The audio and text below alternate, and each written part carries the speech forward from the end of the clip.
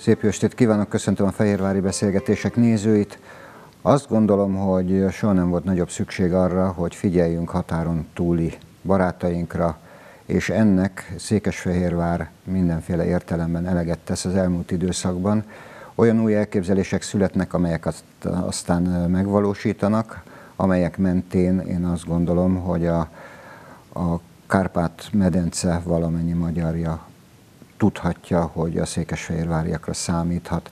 Ennek egy egészen különleges történetnek az egyik főszereplője a vendégem, Juhász László, önkormányzati képviselőként, de ezúttal a válaszvezetőjeként és a Székelybál főszervezőjeként szólítalak meg. Szervusz, örülök, hogy itt vagy velünk. Szép estét És annak is örülök, hogy 2016-ban eszedbe jutott, eszetekbe jutott, hogy kéne egy székelybát szervezni, hiszen ez a Kárpát-medencei magyarság ünnepe azóta.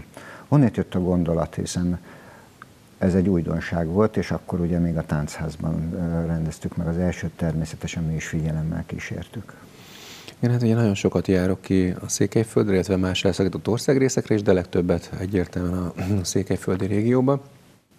És hát ugye itthon érezzük azt, éreztem azt a történetet, hogy még azért itt a 10 millió magyar nincsen azzal tisztában a teljes egésze, hogy Magyarországot önmaga veszi körül, tehát önmagával határos valamilyen értelemben, hiszen nincs még egy ilyen ország a világon, ami bármelyik irányba indulunk, az Magyarország részét képezte a, a jellegi határon túli részek, és, és lerománozzák az erdélyi magyart, leukránozzák a kárpátai magyart, leszlovákozzák a felvidéki magyart, és azt gondolom, minél, egy, minél többen dolgoznak azon a területen, minél többet teszünk és teszünk azért, hogy a, az a magyarsága gúnyhatáron belüli magyarság is erről ismereteket szerezzen, aki ma még kevésbé informált, mert vagy a történelmi okok, vagy családi okok miatt ő máshogy látja ezt a világot, mint ami a valóság, én szerintem. Ezért nagyon sok ilyen kis mozzanat kell, és így gondolkodtunk rajta, hogy hát igazából egy ilyen bállal is föl lehetne hívni a figyelmet, amit ugye egy báloknál sok esetben jótékonysági bálként is szokták használni, és így jött a gondolatunk, hogy akkor csináljunk egy ilyen jellegű műsort Székesfehérváron, ilyen még nincsen, és a névadás is ugye az előbb elmondottakat jelképezte, hiszen Székesfehérvár Székelybál a Kárpát-medence Magyarság ünnepe nevet kapta, ezzel is tükröztük azt, hogy nem csak a Székelyföldre koncentrálunk, hanem teljes szakított országrészeket bevonjuk ebbe a történetbe. Ugye különleges kapcsolat fűz Szentegyházához. Mi abban a szerencsés helyzetben vagyunk, hogy gyakorta járunk Székelyföldre szintén, és akkor mindig megcsodáljuk egyik oldalról a feliratokat arra felé, hogy helyi teszem, helyitől veszem, mert helyén az eszem, tehát ez a, a székely mondás. Aztán Szentegyházát is megcsodáljuk, hogy egy szintiszta magyar település, nagyon-nagyon szép, el sem tudják képzelni szerintem, aki nem járt arra, és a gyönyörű környezetben fekszik. Honnét jött a te kapcsolatot, hiszen ez már nagyon-nagyon bensőséges baráti kapcsolat Szentegyházával? Igen, hát lassan két évtizedre járok ki Székelyföldre különböző módon, és egy, mint egy év, ebből egy tíz évvel ezelőtt voltam először Szentegyházen, teljesen véletlennek lett köszönhető ez a kapcsolatnak a felfutása hiszen a szállásadónkkal sokat beszélgettünk, hát kiderült, hogy ő is a közéletbe tevékenykedik, hiszen akkor a település alpolgármestere volt, de én nem úgy kerültem oda, azt kiderült, hogy én Székesfehérváron, akkor van foci csapatom, van a településnek is foci csapata, minő véletlen Fehérváron is tudunk hagyományt találni az, hogy Szentegyházi Vasas, ugye itt VT Vasasból lettünk videóton, és piroskék volt az ottani foci csapat, és hát így jöttek a beszélgetések, jöttek a gondolatok, és egyre több találkozás lett, hiszen először az általam szervezett Fehérvár Futballfesztiválra meghívtam a Szentegyházi futballcsapatot is, már régóta gondolkodtam úgy mond a határon túli nyitásba ott is, és ők voltak az első határon túli csapat a, a tornán, ennek is utána nagy hagyománya lett, és ahogy így egyre többet találkoztunk, jöttünk, mentünk, jöttünk, mentünk, így kialakult egy olyan mély kapcsolat, hogy tényleg azt gondolom, hogy többször kapok telefonhívást akár Szentegyházról, Fehérvár környékén, vagy nyári munka, esetleg diákok, egyetemisták, hogy Velence, Balaton, milyen lehetőség van vagy volt olyan is példa, hogy egy szentegyházi leányka érdeklődött, hogy Fehérvár hallotta, hogy van az Árpádban lovászképzés, hogy esetleg ennek is mit tudok utána járni, mik a lehetőségek. És viszont is igaz, akik Székesfehérvárról mennek ki, esetleg nyaralást terveznek, kirándulás Székelyföldre, megkérdeznek, hogy merre, hogyan, és hát jó szívvel ajánlom mindig Szentegyházát, hiszen gyakorlatilag egy kicsit ott a, annak a régiónak a a szíve földrajzi értelemben is, hisz onnét egy órán belőle minden nevezetesség Igen. elérhető és meglátogatható, és hát nem utolsó sorban a Székelyek Szenthegyének, hogy a Madarási Horgitanak a lábánál fekszik, Igen. és hát így az első bálba 2016-ban adta magát, hogy Szentegyháza javára gyűjtöttünk, illetőleg onnét is érkeztek akkor is fellépők, úgy, ahogy majd is érkeznek. Igen, azért azt tudnunk kell, hogy bármennyire is szép a település, a magyar léptékkel mérten bizony mondjuk, hogy nagyon dolgos emberek élnek arra felé, és szegények. Ahhoz képest, mint amit mi megszoktunk, tehát mindig van helye a segítségnek.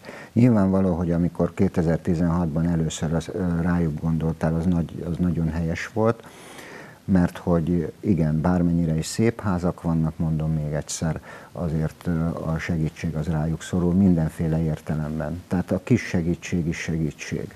Ugye ez volt a motiváció, hiszen egy ilyen székelybál bármilyen sokan vagyunk ott, azért az alapvető gondokat nem tudja megoldani, viszont a gesztus mindennél többet ér. Igen, és azt gondolom, hogy itt az anyagi segítségen túl azok a minimális, amit már egy, tényleg egy nagy kalapból, ez egy minimális történet, amit hozzá tudunk mi tenni, de nagyon fontos az emberi kapcsolatok és a lelki kapcsolatok, a lelki támogatás, hogy lehet ránk számítani, és itt is egyre több közösség az, akire számíthatnak.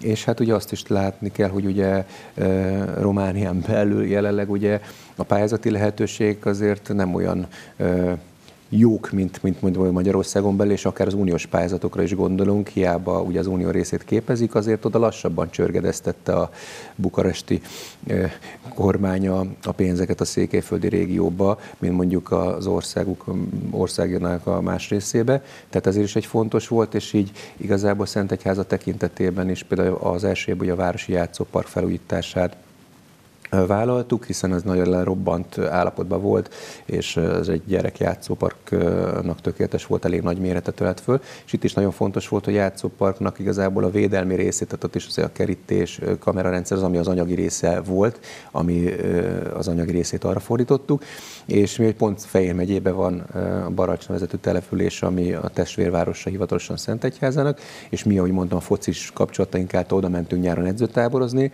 ott egy nagyon szép dolog történt aznap, amikor ezt a parkot felújítottuk, hiszen közel százan dolgoztunk a park felújításán, mert eljöttek a Barácsi, Baracsi testvértelep, és részt vettek a helyiek fizikai munkával, és részt vettek a mi focista videóton baráti körös gyerekeink is. Tehát a pénzen túl a tényleg egy igazi közösségépítő nap volt az. Igen, hát megmelegszik az ember szíve.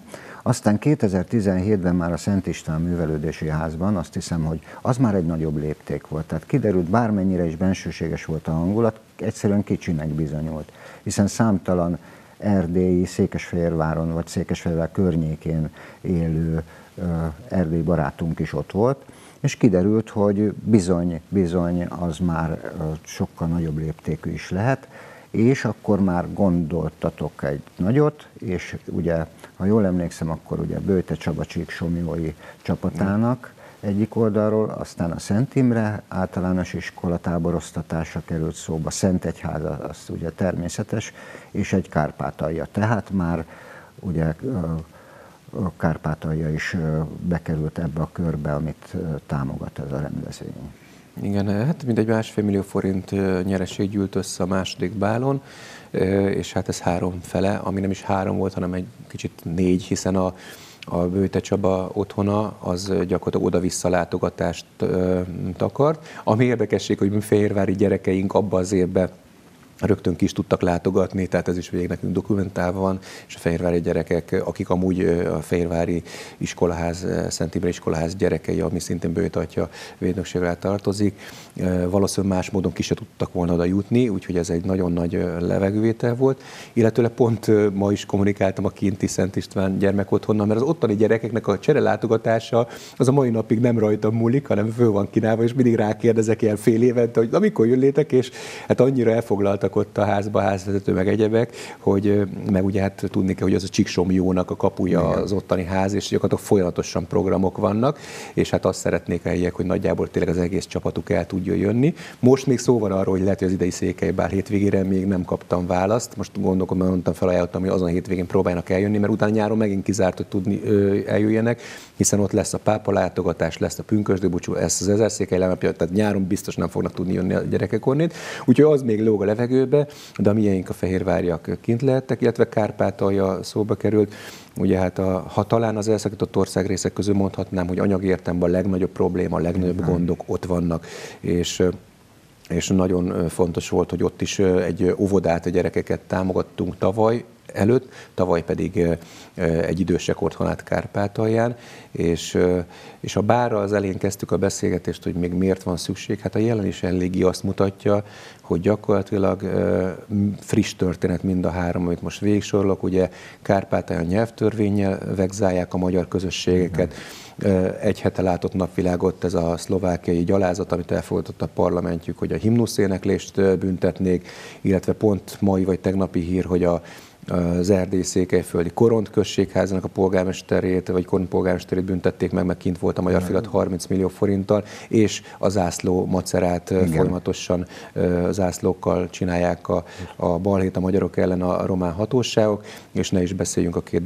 bebörtönzött magyar honfitársunkról. Vagy Marosvásárhelyről igen, adott esetben. Vagy Vásárhelyről, illetve gyógyszerészeti egyetem. Tehát folyamatosan a magyar közösségünk ki van téve mindenféle megzálásnak, és azt gondolom ezekkel is a figyelmet föl tudjuk mi ezekre a problémákra is egy picit hívni, hogy odafigyeljenek rá, hogy ott tényleg magyar embereket Így van, ugye Beregszászt említetted, hiszen ott a kárpátaljai református egyházkerületet segített tettétek az elmúlt évben, emellett pedig ugye ez Beregszászon van, ez egy anyagi támogatás, viszont nagyon-nagyon fontos volt, és ez újdonság, hogy az Erdélyel és Trianonnal kapcsolatos könyvek is, hogy, hogy egyre többen olvassanak. Az emberek nem is tudják elképzelni egyébként, hogy Erdélyben, illetve Kárpátalján, felvidéken és délvidéken is, hogy milyen nagy keletje van az igényes magyar könyveknek. És milyen nehéz hozzájutni, ez pedig a másik.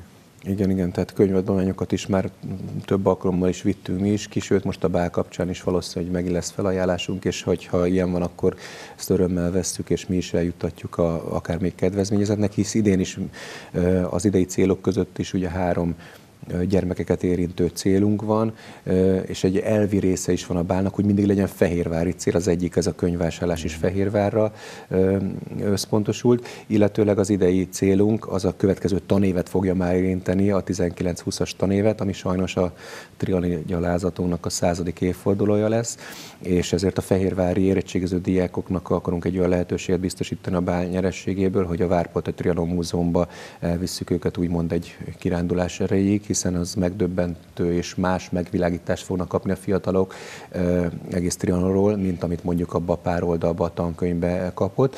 Tehát ez a cél és az ifjúság fele megy, illetve a kinti célok közül mm, Kárpátalja most a Ráton egy családi napközi, a Szent Mihály családi otthonnak a segítséget, bővülését szeretnénk majd mi is elősegíteni, hiszen ott családi napközi rendszer, nem család, családoknál nevelkedő, nevelőszülőknél nevelkedő gyerek, gyermekek vannak, és ott most egy kis kápolnát és egy kis kollégiumot is építenek a területre, annak a berendezéséhez fogunk segítséget nyújtani az idei bából, és hát a székelyföldi cél meg megint fontos, hogy mindenhol kerestük a, keressük mindig azt, hogy hol van esetleg fehérvári kapcsolat vagy személyes kapcsolat, és eddig mindegyik évben ez igaz volt a, a székelyföldi célnél, és idén ugye megtaláltuk Csíkpáfalvát, amihez tartozik Csíkcsomortán, ahol ugye a versünnepet székesfehérvári mintára úgymond elkezdték folytatni, és így szoros kötődés van a, két település között, és hát a versünnepről már beszélünk, akkor Ugye azt is mondanom kell, hogy a tavalyi bálba és idén is a bálba az aktuális versünnep győztes a meghívásra került, és verselt a Székelybál közönségének is. Tehát én azt gondolom, ez is egy nagyon szép cél, és az ottani általános iskola javára fogunk gyűjteni az idei bálba. És szükségük is van rá.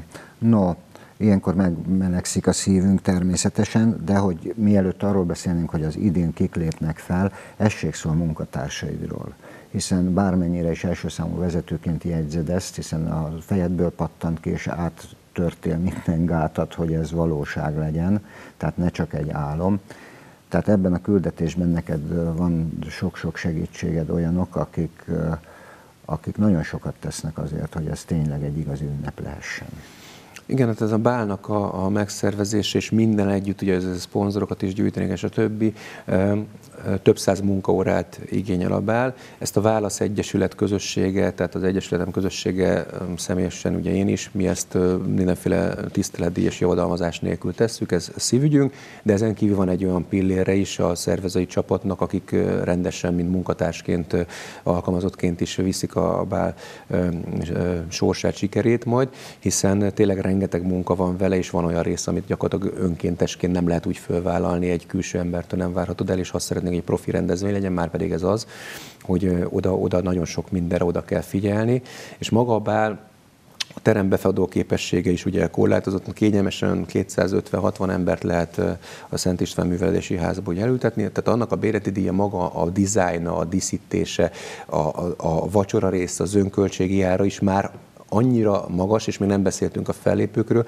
hogy szükséges is, hogy egyéb támogatók legyenek. Itt köszönjük is ezúton rögtön a polgármester úrnak és a városnak is a támogatását, hogy a bál mellé állt, és maga a polgármester úr is egybe a fővédnökséget is vállalta hiszen ezek nagyon fontos mankók nekünk is, mm. és azon kívül, a, amit a báli közönség, amit megvesz egyet, szükségünk van a szponzorok bevonására, úgy tudunk csak igazán nyereséget mm. fölmutatni, hiszen ha már a fellépők fele fogunk ebből átkanyarodni, azt is látnunk kell, hogy például bereg, arra is figyelünk, hogy mindig az elszakított országrészekről, és nagyjából azokról a helyekről, ahol megy a, a a jótékonysági célnak az összege, onnét érkezzen fellépő, és idén például Beregszászból Kárpátaljára fog érkezni a tánccsoport, 18-an, és ott ugye természetesen nekik bár tiszteletdíjat ugye nem kérnek, de a szállást, étkezést itt céges főváron azért biztosítanunk kell ugye az egy vagy két éjszakát érint, azért 18 főre az sem kevés, ugye, és hozzá kell tennünk, hogy Kárpátaljára csak úgy tudnak eljönni,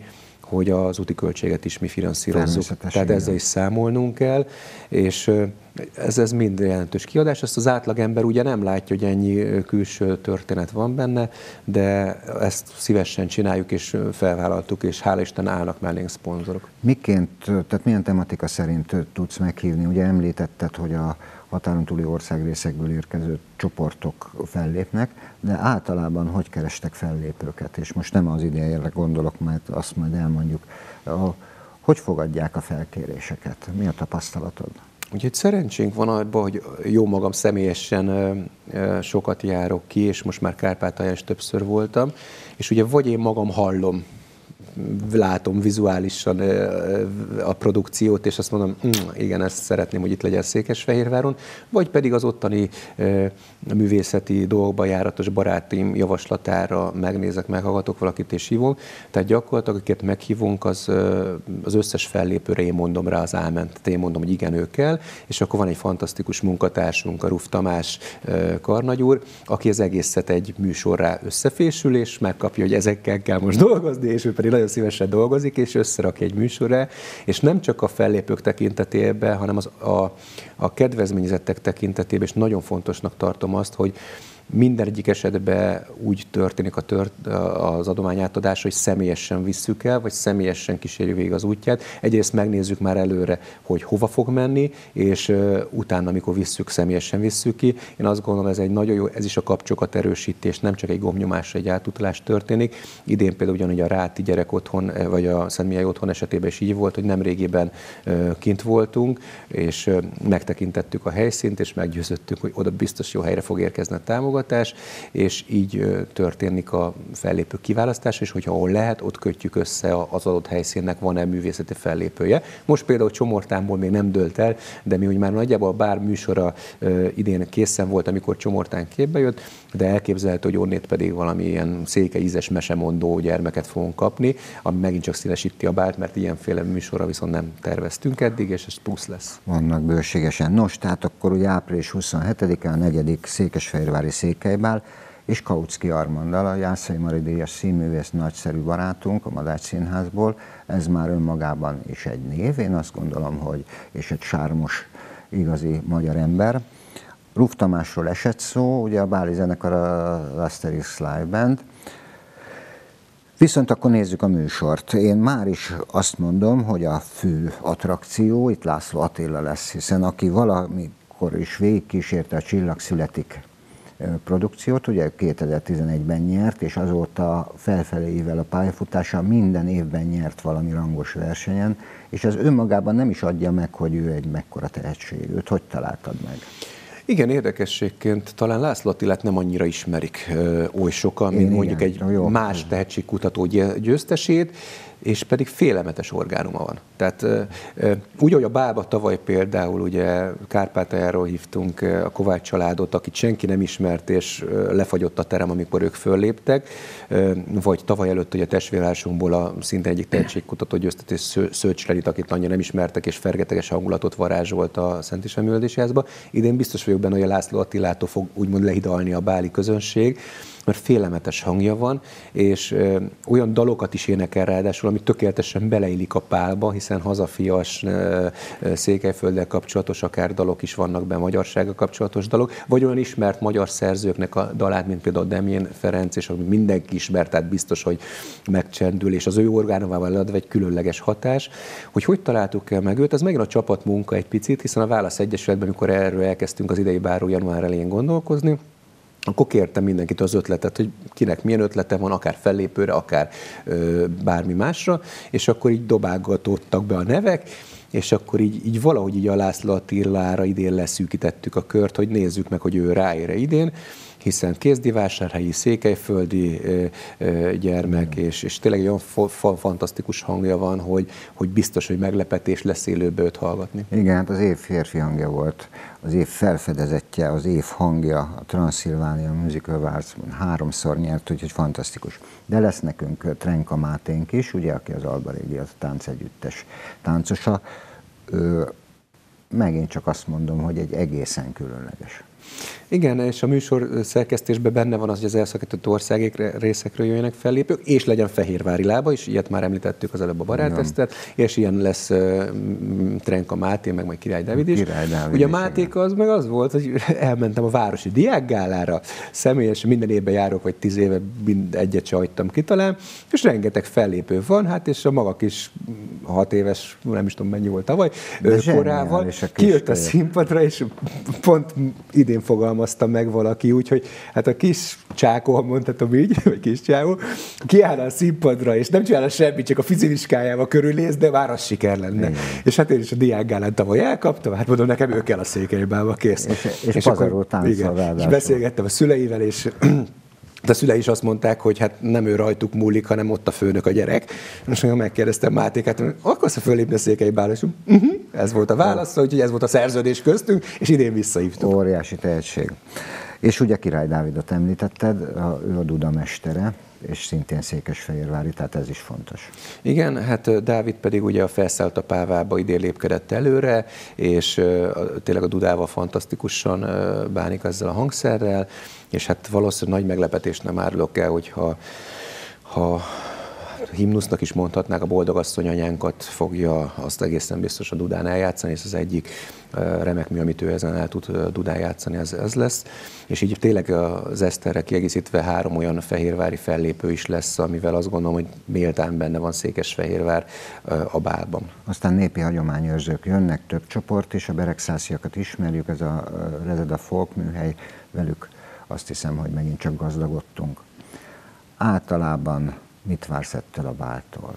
Invitáljuk meg mindazokat, akik még nem késtek le arról, hiszen itt gyorsan fogynak a jegyek, tudom. Igen, most már egy egyértékesítés, a szponzorinak lassan a végére járunk ott jövő hét elején. Le szeretnénk zárni, illetve a bálba a lakossági egyértékesítés legkésőbb húsvétig szerintem úgy látom, hogy föltöltődik vagy lezáródik. Hát azt gondolom, olyan csodálatos műsorba lesz részük, ami, ami nem az a megszokott. Ugye Fehérvár rengeteg szerencsére nagyon sok kulturális színes program van, de ez egy picit másabb lesz, és annyira színes kavalkád, és mégse kavalkádszerű lesz, hanem magasztos, inkább emelkedett a műsor szerkezet, amit összetettünk, hogy egy valóságos élmény legyen. És hát, hogyha mi úsfét utáni hétről beszélünk, én jó szívvel ajánlom minden kinek, hogy esetleg lepje meg a párját egy báli belépővel, ezáltal persze megveheti saját magának, és így akkor el tud jönni, vagy családját, hiszen a húsvéti ajándékként is nyugodtan lehet még a báli belépőt adni, és, és maga az étkezés is, amik ott az italok, az italok is, ételek is minden a székely konyhára fog alapozni, és egy nagyon érdekesség a bálnak, ezt negyedik évet csináljuk így, hogy a multicégek termékeit nem lehet a bálon megtalálni, tehát egy Áfonya. Igen, igen. Tehát az erdélyi klasszikus italok, csikisört lehet majd kapni, szörpöt lehet, rendes gyümölcszörpöt lehet fogyasztani, nem coca Tehát ebbe az érdekesség szintén megvan a, a bálba, hogy minden a gyakorlatilag magyar termék és lehetőleg kézműves közeli termék legyen. Igen, mert helyét veszem, helyitől veszem, Igen. mert helyén Igen. az eszem. No, kérem szépen, akkor Hát természetesen mi ott leszünk, és beszámolunk erről, és hát köszönöm szépen, hogy megtiszteltél. Ez jó buli lesz megint, azt Igen. hiszem. Köszönöm, köszönöm szépen, szépen, hogy itt voltál. Köszönöm. Kedves nézőink, az április 27-én sorra kerülő immáron negyedik Székelybáról beszélgettünk a Válasz nevében Juhász László főszervező volt a vendégem. Önöket is várja a Szent István Művelődési Ház, kérem ne feledjék, április 27-én 18 órakor negyedik Székelybál a Szent István Művelődési Házban. Köszönöm megtisztelő figyelmüket, további szép estét kívánok, viszontlátásra!